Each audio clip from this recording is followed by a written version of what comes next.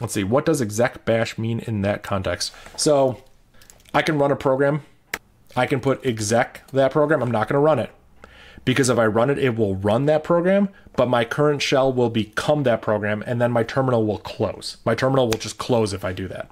Um, so exec means become that program. So I'll show you. Vim foo. Let's make a simple little bash script here. Let's echo hi, exec, echo okay, echo bye. Uh, let me, I'll show you what this looks like with syntax highlighting so it's easier to read. We're gonna echo hi. No, you know what? One, two, three. So when we run this command, uh, it prints one and two, and it doesn't print three.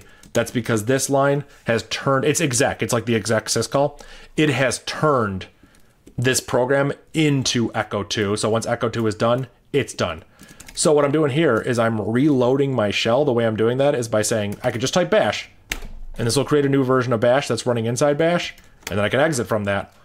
But I can also just say exec bash, and that means become bash. So it re-executes itself, and that's how I reload my bash RC and stuff like that. So if I ever get in a weird state, I can reload bash using that. It's a great little trick for it.